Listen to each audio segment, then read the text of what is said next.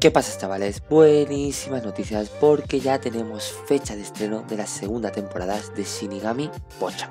Además también nos ha dejado un tráiler oficial. El tráiler como siempre os lo dejo en la descripción, está muy bien y trae bastante detallitos, ¿eh? No os lo perdáis. Y es que el anime basado en el manga de género comedia romántica Shinigami Bochan anunció en sus medios oficiales que su segunda temporada está programada para estrenarse en Japón en el transcurso de julio de este año.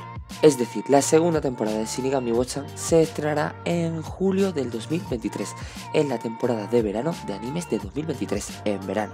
A ver, no hay una fecha exacta, pero bueno, a principios de julio. Ya cuando se sepa lo diré en el canal, así que suscríbete.